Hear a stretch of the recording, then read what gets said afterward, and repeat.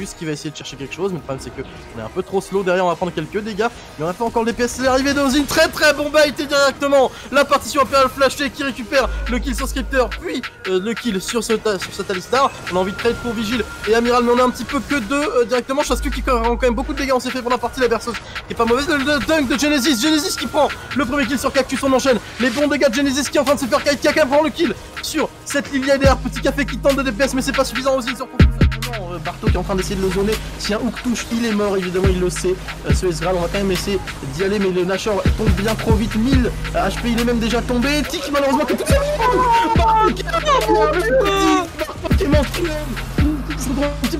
Attention, par contre, on un petit peu trop chauffé. Pour qui va quand même tomber dans le royaume des morts, mais derrière Niki qui tombe. Amiral, enfin route, mais ce n'est pas suffisant. Attention, Draptix ici qui est arrivé. L'ultime qui est waste Oh là là. de la part de Sugnar avec le all-in et la partie qui est mise en pause au milieu du Au teamfight. pire moment. Mais non Mais vous n'avez pas le droit pas de FF. Non, mais là, là, Vous n'avez là pas le malheureusement, droit c'est les nerfs qui craquent.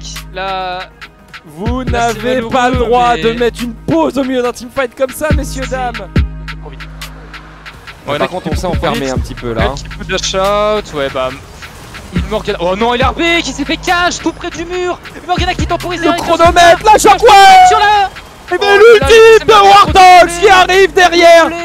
Peut-être le triplé derrière, on va y arriver, oui Mais qu'est-ce que c'est que cette phase non de jeu Par cette Tristana, le kill qui va certainement récupérer, ça y est, Genesis qui a réussi à venir à bout du nounours et les Warthogs qui se retournent pour finalement réussir à récupérer des kills et à venir remporter ce trade mid lane.